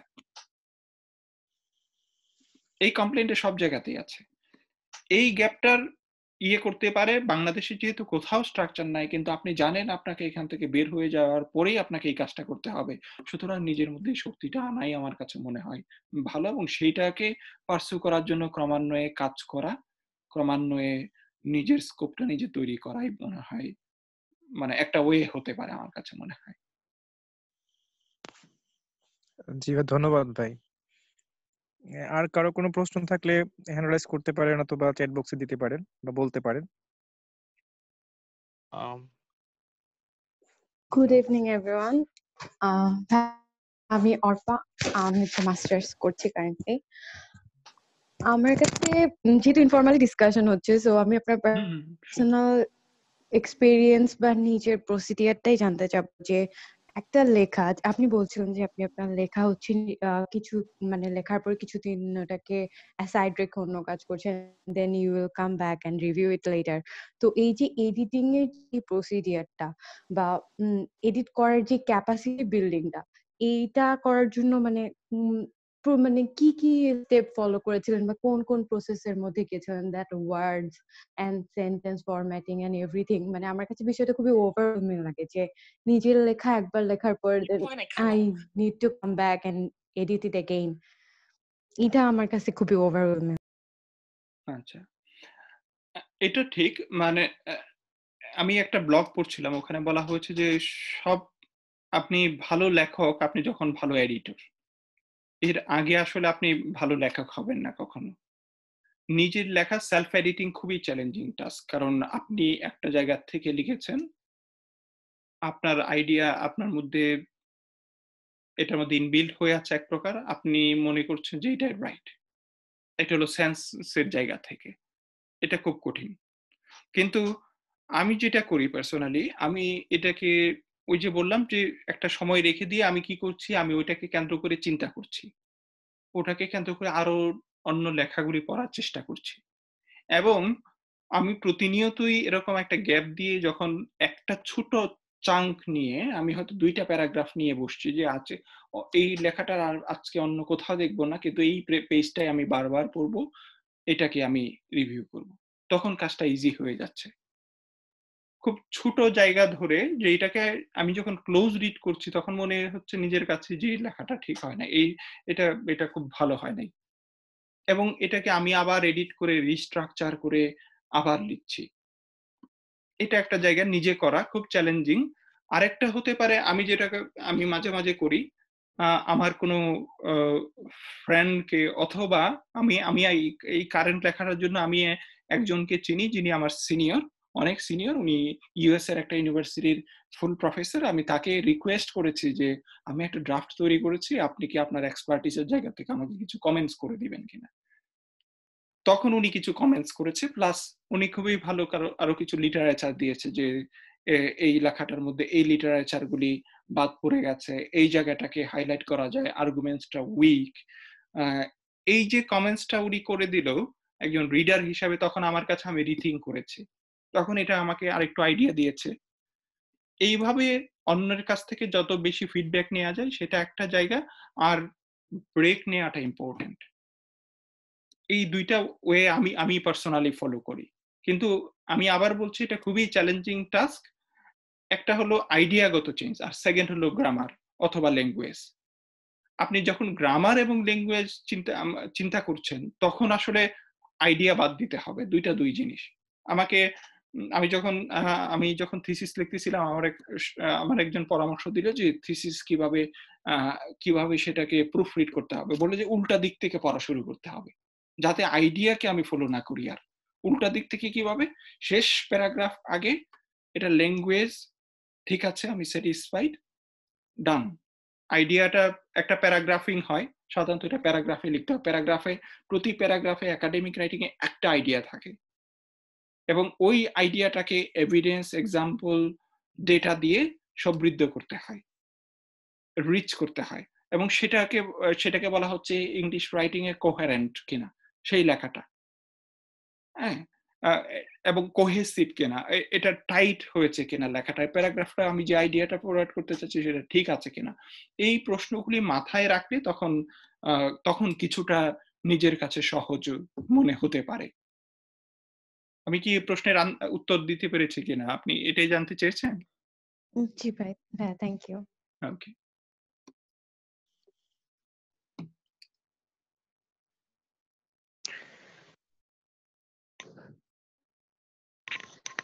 হ্যাঁ তৌফিক তোমার প্রশ্ন বড় হ্যাঁ প্রথমে ধন্যবাদ জানাই ভাইকে অসাধারণ প্রেজেন্টেশনের জন্য রাইটিং এর উপর।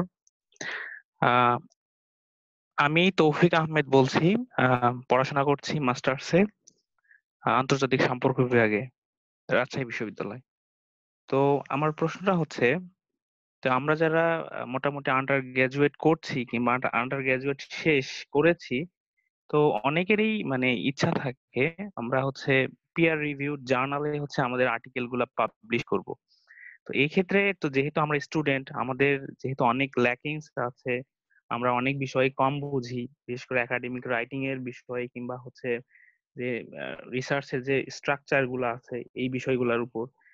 তো সেই ক্ষেত্রে আমরা যখন হচ্ছে, যেমন আমরা হচ্ছে আন্ডার গ্রাজুয়েটে যখন বিভিন্ন অ্যাসাইনমেন্ট করি, সেইটা যখন আমরা হচ্ছে ঘষা মাজা করে যদি কোনো জার্নালে পাবলিশ করার চেষ্টা করি, সেই ক্ষেত্রে আমি নিজেও ফেস করেছি যেটা, সেটা হচ্ছে রিজেকশনের শিকার। যে হচ্ছে ওরা অ্যাকসেপ্ট করতেছে না আমার আর্টিকেলটা তো এক্ষেত্রে মানে অনেকটা মানে হতাশা কাজ করে যে আমরা আসলে বা আমি বা পারব কিনা পরবর্তীতে কোনো মানে জার্নালে হচ্ছে আমার আর্টিকেলটা পাবলিশ করতে পারব কিনা। তো এই ক্ষেত্রে মানে আপনার কাছে এটাই কোশ্চেন যে হচ্ছে নতুন যারা আমরা রিসার্চার বা নতুন যারা আমরা একাডেমিক রাইটার হয়ে উঠতে চাচ্ছি বা ইন্টারেস্টেড তো তাদের জন্য আসলে কোন ধরনের জার্নালকে টার্গেট করে আগানো উচিত? আচ্ছা। প্রথমে রিজেকশন দিয়ে শুরু করি। Rejection is the part of business in academia R in academic writing আমি আমি জানি, আমি কিছুদিন আগে একজনের সাথে আড্ডা হচ্ছিল, উনি একজন প্রফেসর ফুল প্রফেসর উনার আর্টিকেল রিজেক্ট হয়ে গেছে এবং রিভিউ এর পরে। আমার আর্টিকেল বারবার রিজেক্ট হচ্ছে। এক জায়গায় পাঠাচ্ছি রিজেক্ট হচ্ছে। আবার রিভিউয়ার সহ কমেন্টস আমার মনে আছে আমি একটা আর্টিকেলের স্টোরি বলি। আমি তিনটা জায়গায় পাঠিয়েছি। তিন জায়গায় কম্পারেটিভলি মানে আমি তখন নতুন রিসার্চার দুই জায়গায় ডেস্ক রিজেক্ট বলে। প্রথমেই এডিটরই রিজেক্ট করে দিয়েছে। আরেক জায়গায় পেয়ার রিভিউতে পাঠিয়েছে। ওখান থেকে রিভিউয়াররা পছন্দ করে নাই কমেন্ট দিয়েছে। বলল যে এটা পাবলিশেবল না। কিন্তু এই যে জার্নালটা রিভিউ করেছে কম্পারেটিভলি এত ভালো র্যাঙ্ক মানে ইম্প্যাক্ট ফ্যাক্টর দিয়ে মাপা হয় যে কেমন জার্নাল, কিন্তু এত ভালো না। পরে একই ড্রাফট আর একটু কাজ করে যে কমেন্টস গুলি দিয়েছে, একই ড্রাফট প্রায় একই ড্রাফট আরও ভালো জার্নালে পাঠালাম, ওরা পাবলিশ করেছে। তাহলে এটা নিয়ে এটা কোয়াইট এ মিস্ট্রি আসলে। আপনি যে খুব বেশি ভালো একাডেমিক এবং সাকসেসফুল রিসার্চার হলেও যে আপনার একটা রিজেক্ট হবে না, তা তো না। হ্যাঁ সবার এটা এটা পার্ট অফ স্টোরি কারণ যে রিভিউয়াররা পড়বে, তারা একটা আঙ্গিক থেকে পড়ে জার্নালের নিজস্ব পলিসি আছে এই সবগুলিকে মিট করতে হয়। এখানে এটা কোয়াইট পলিটিক্যাল আর সেকেন্ড হলো যে আপনি কোন ধরনের জার্নালে পাবলিশ করবেন? কোন ধরনের জার্নালে পাবলিশ করবেন এটা নির্ভর করে সম্পূর্ণ আপনার লেখার উপরে। আপনি কি নিয়ে লিখছেন সেটার উপর। এবং প্রত্যেকটা জার্নাল ওয়েবসাইটে গেলেই পরিষ্কারভাবে তাদের তাদের স্কোপ তাদের ইন্টারেস্টের জায়গা, কারা এডিটর তারা, তাদের লিস্ট দেয়া আছে। আপনি এই সবগুলি দেখে আপনি যদি মনে করেন যে এই জার্নালটাই লেখার জন্য উপযুক্ত এবং এই জার্নালে, যে জার্নালে আপনি সাবমিট করছেন, খুবই ইম্পর্টেন্ট পয়েন্ট যে আপনি এই জার্নালের যারা পাবলিশ করেছে, তাদেরকে, তাদের লেখাগুলিকে ভালো করে পড়েছেন কিনা, অথবা সাইট করেছেন কিনা। কারণ তারাই পার্সপেক্টিভ রিভিউয়ার হবে। সুতরাং এই জায়গাটাকেও আপনাকে লেখার ক্ষেত্রে মনে রাখতে হবে। আর এখানে বাংলাদেশে যেহেতু মেন্টরশিপের জায়গাটা স্কোপটা কম, আমি মেন্টরশিপ বলছি যে বাংলাদেশে তো রিসার্চের ইউনিভার্সিটির মধ্যে জায়গাটা একটু কম।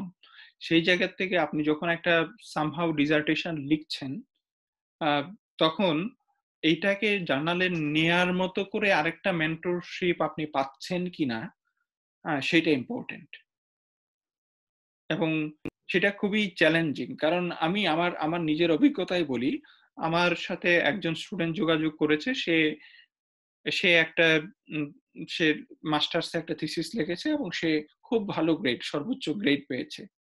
এবং তার খুব আগ্রহ সে একাডেমিয়াতে মানে তার কেরিয়ার করবে এবং সেটা পাবলিশ করবে। তো আমি তাকে বললাম স্বাভাবিকভাবে যে আপনি একটা ড্রাফট তৈরি করে দেন। প্রিলিমিনারি যা আছে এটাকে এক্সট্রেক্ট করে আমি দেখি বিষয়টার মধ্যে কি আছে। তো আমার কাছে তখন মনে হলো যে ওই লেখার টাইপ এবং মানে তার লেভেল অফ আন্ডারস্ট্যান্ডিং দিয়ে ওটা আসলে কোনো জার্নালি অ্যাকসেপ্ট করবে না। আমি সরাসরি তাকে এটাই বলেছি যে, এইটা না আপনাকে অনেক কাজ করতে হবে এই ধরনের কাজগুলি করলে। এবং এইটা করতে গিয়ে আমার কাছে মনে হলো ওই স্টুডেন্ট যে একটা লেখার জন্য, কারণ জার্নাল আর্টিকেল অনেক হাই যে কোনো মানে বাজে জার্নালে আপনি অহরহ লেখা ছাপাচ্ছে, অনেকেই ছাপাচ্ছে, কিন্তু সেটার কথা আমি বলছি না। আমি বলছি ভালো জার্নালের কথা। তো সেই ক্ষেত্রে একটা প্রিপারেশন আছে, একটা ওরিয়েন্টেশন আছে, একটা মেন্টরশিপ আছে। সেইটার মধ্যে দিয়ে আপনার যদি যাওয়ার সুযোগ হয়, আপনি যদি ওরকম মেন্টর পান, তাহলে সেটা খুব সহজ হয় আমার কাছে মনে হয়। আমি আপনার কাছ থেকে আরও কিছু স্পেসিফিক মানে জার্নালের নাম শুনতে চাচ্ছিলাম যেখানে আমাদের জন্য বিশেষ করে যারা নতুন রিসার্চার তারা আসলে কোথায় পাবলিশ করলে মানে মানে কোথায় পাঠালে আর্টিকেলটা মানে মানে পাবলিশ করার সম্ভাবনাটা বেশি থাকবে। মানে যেমন আমরা খুব ভালো জার্নালের কথা বলি যদি জেস্টোর স্পিনজার তারপরে হচ্ছে সেইজ এরকম আর্টিকেলগুলা হচ্ছে অনেক ভালো মানের হচ্ছে লেখা যখন হবে বা আপনি যখন স্কলারলি কোনো একটা আর্টিকেল লিখবেন খুব ভালো মানের তখন সেটা পাবলিশ করবে যেহেতু আমরা স্টুডেন্ট তো সেক্ষেত্রে আমাদের ইন্ডিভিজুয়াল যে প্রচেষ্টা এই প্রচেষ্টায় আসলে মানে কি রকম জার্নালে আপাতত হচ্ছে আর্টিকেল পাঠালে আমরা হচ্ছে মানে পাবলিশ করতে পারব আপাতত। আমাদের যে এই যে পাবলিশ করার যে ক্যাপাবিলিটা ক্যাপাবিলিটিটা এটা আমরা মূলত মানে মানে ধারাবাহিকতা বজায় রাখতে পারব আর কি আমাদের লেখালেখির যে ধারাটা এইটা। আচ্ছা সেই ক্ষেত্রে হলো প্রথমেই আসি, প্রথম দিকের কোয়েশ্চেনটা যে জার্নাল আমি আগেই বলেছি যে, একদম এটা টপিক্যাল আপনার মানে আপনি ইন্টারন্যাশনাল রিলেশনের কোনো, আবার ওভারঅল কোনো জার্নাল নাই। আপনার ওই টপিকস নিয়ে, যেমন ইন্টারন্যাশনাল রিলেশনে এখানে যে লেখক আছেন, সাইবম পারভেজ, ওই টেরোরিজমের উপর যে আর্টিকেলটা এরা international relation political science quite মানে মাল্টিডিসিপ্লিনারি আর্টিকেল প্রকাশ করছে। কিন্তু এটা হলো টপিকস আপনি কি নিয়ে লিখছেন? প্রথম এর আনসার হলো এটা। সেকেন্ড দিকের হলো, এখন আপনি কি এইরকম একটা সাবস্ট্যান্ডার্ড অসংখ্য এটা, এই জার্নালগুলিকে প্রিডেটরি জার্নাল বলে? হয়তো অনেক সময় টাকা চাইবে অথবা টাকা চাইবে না, আপনাকে দিবে। তারা বলছে পেয়ার রিভিউ বাদ they are not peer reviewed journal. They will publish as it is আমার কাছে মনে হয় এটা করার চেয়ে না করা ভালো। এতে কেরিয়ারের উপকারের চেয়ে কেরিয়ারের ক্ষতি হয়। কারণ এজ এ স্টুডেন্ট আপনি যখন বাংলাদেশে মাস্টার্স করে লিখছেন, আপনি বাইরে একটা ইউনিভার্সিটিতে লেখাপড়া করতে চান, আপনার কাছে কেউ পাবলিকেশন খুঁজবে না। আপনাকে কেউ বলবে না যে আপনার পাবলিকেশন কয়টা আছে। আপনার রাদার আপনি যে থিসিসটা করছেন, সেটা ভালো থিসিস কিনা সেটা জিজ্ঞাসা করবে। হ্যাঁ কিন্তু আপনি, কারণ সাধারণত ওভারঅল সারা ওয়ার্ল্ড ওয়াইড আন্ডারস্ট্যান্ডিং হলো আপনি যখন পিএইচডি শুরু করলেন তখন আপনি রিসার্চ শিখছেন এবং তখন আপনি রিসার্চ কেরিয়ার শুরু করলেন পিএইচডি শেষ করে পিএইচডি কালীন না। এটা হলো এটা হলো সকল ওয়েস্টার্ন ওয়ার্ল্ডের আইডিয়া তারপরে আমি বলব, কিছু জার্নাল আছে আপনার কাছে লেখাটা যদি মনে হয়, কিছু লোকাল জার্নাল আছে। অথবা পাশের দেশ ইন্ডিয়ার যেহেতু অনেক বড় দেশ, তাদের কিছু ইউনিভার্সিটিরও লোকাল জার্নাল আছে। আপনি গুগল করলে এই জার্নালগুলির নাম পেয়ে যাবেন। আপনি ওই সমস্ত জার্নালে পাঠায় পাঠিয়ে দেখতে পারেন।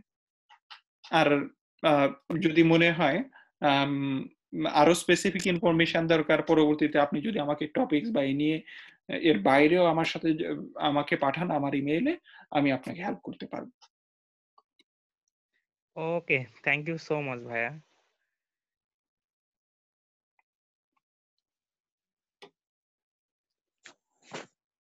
ভাই আপনার কি সময় হবে আরও নাকি এখন? আমাদের আর আট মিনিট দেখাচ্ছে আমরা আট মিনিট থাকি যখন এই সেশন শেষ হয়ে যায়। আপনার রেকর্ডিংটা বন্ধ রাখতে পারেন এখন আমার মনে হয় যদি প্রশ্ন না থাকে। হ্যাঁ হ্যাঁ আপনি রেকর্ডিংটা অফ করে দিতে পারেন।